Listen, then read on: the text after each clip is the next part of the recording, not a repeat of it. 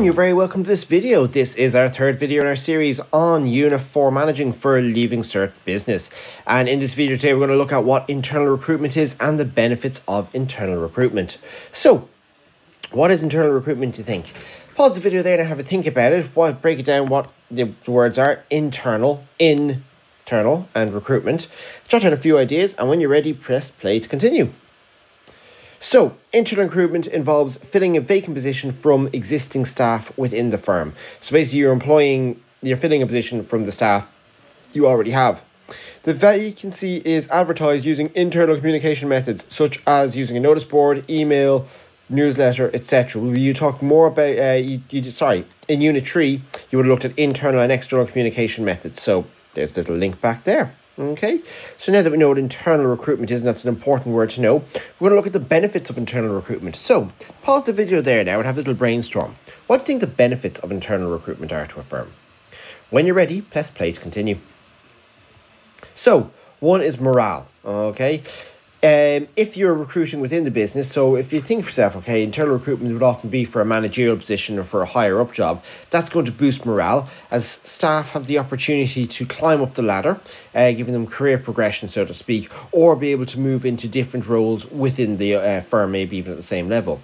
This can act as a motivator and strengthen employee commitment to the business.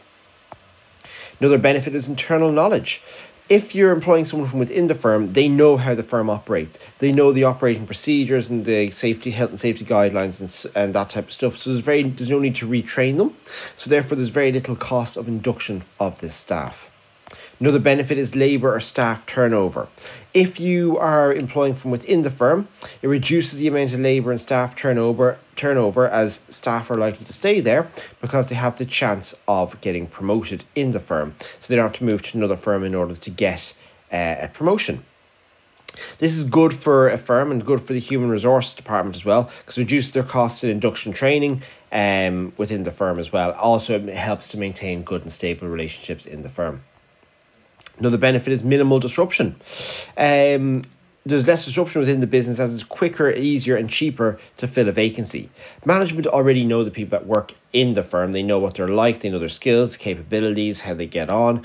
Um, so that means they know if someone will be suitable to a particular role or not. Next what we have is the cost. It is much, much cheaper to actually uh, to do internal recruitment than external recruitment. Because you already know the people, uh, there's less steps involved in the recruitment process. You don't have to advertise the job quite so widely. Uh, there's less time filtering through uh, applications, etc. Um, so that brings us to the end of this video where you've now learned what internal recruitment is and the benefits of internal recruitment. If any questions, ask below in the comments and please give the video a like. And if you haven't already, please subscribe to the channel for more interesting videos like this on Leaving for Business and other similar subjects. Thanks very much for watching. See you again in the next video. Bye now.